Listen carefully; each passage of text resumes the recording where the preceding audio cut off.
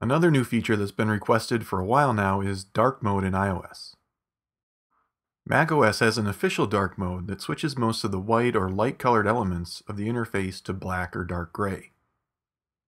In iOS 11 we kind of have a dark mode, but it's hidden in general settings, accessibility, and then display accommodations. Tap Invert Colors and we can select between Smart Invert or Classic Invert. Classic Invert is going to invert the colors of every element on the display, no matter what it is. Smart Invert attempts to only affect interface elements like backgrounds and buttons. If you're viewing a photo, the colors within it aren't going to be inverted.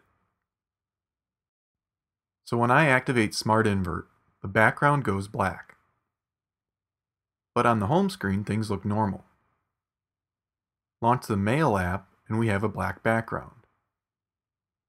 When viewing this message though, notice that the graphics are inverted, so this isn't a true dark mode.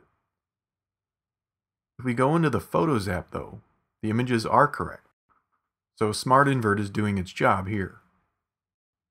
If we have Classic Invert on, all the images would be inverted completely. So Smart Invert can be a nice option if you just like the look of dark backgrounds, or if you use your phone in the dark a lot.